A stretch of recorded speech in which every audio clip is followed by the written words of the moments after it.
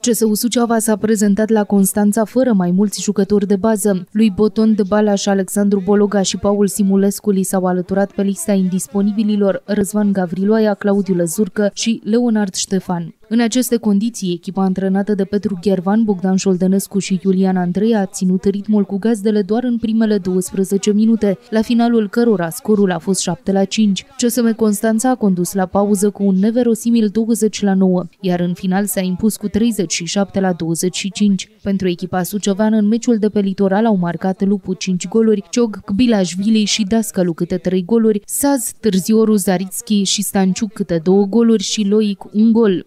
Universitarii au mai mizat pe Nicolae Radu Vizitiu și Focșăneanu și pe portarii Macaria și Podovei. În urma acestui rezultat, CSU Suceava a coborât pe locul 8 în clasamentul Ligii Zimbrilor. În cadrul etapei a 7 s-au mai înregistrat următoarele rezultate. Dinamo București, CSM Oradea 34 la 30, Puteai Saturda, CSM București 20 la 27, CSM Odorhei, CSM Focșani 26 la 31, HC Buzău, Minaur, Baia Mare 32 la 34 și CSM Bacău, CSM Vaslui 29 la 27. Etapa se va încheia pe 21 octombrie cu meciul dintre Politehnica Timișoara și Steaua București. Campionatul Ligii Zimbrilor va lua o pauză de două săptămâni și jumătate. În următorul meci oficial, CSU Suceava va juca pe 22 octombrie acasă cu CSM Focșani, echipă care se află pe locul 5.